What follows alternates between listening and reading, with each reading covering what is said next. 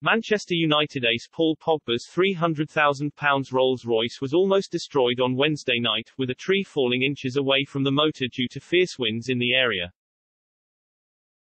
Manchester United ace Paul Pogba had a lucky escape on Wednesday night, with a tree falling just inches away from his £300,000 Rolls-Royce.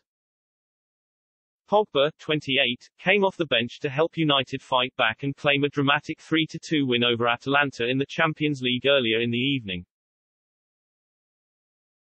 But if he thought his chips were down after being dropped from Ole Gunnar Solskjaer's starting 11, the Frenchman's fortunes well and truly improved later that night when his Rolls-Royce narrowly avoided a falling tree. Pogba's wife, Maria Zulay Salaues, shared a photo on social media of the car lying in the driveway of their £2. 9 million Cheshire Mansion, the fallen tree can be seen lying just a few inches away from the Wraith Black Badge motor, with Salaues writing the caption, This happened last night along with a shocked emoji. Greater Manchester has been hit by fierce winds and a mini tornado this week, causing chaos in the area. A Met Office forecaster estimated that gusts have even been reaching speeds of up to 50 miles per hour, resulting in broken fences, debris and fallen trees throughout the week.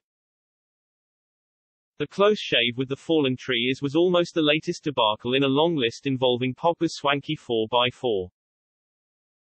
The £89 million star does not have the best record in keeping it safe, having left it in a police car pound for nine months between June 2020 and March 2021.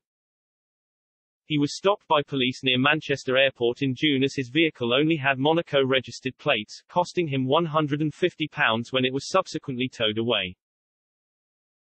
Pogba was then issued three points on his driving licence along with another £220 fine and £85 in costs at Tameside Magistrates Court last December. Yet he only chose to pick up his car in March of this year, which cost him over £5,000 due to the police's £200 a day storage fees.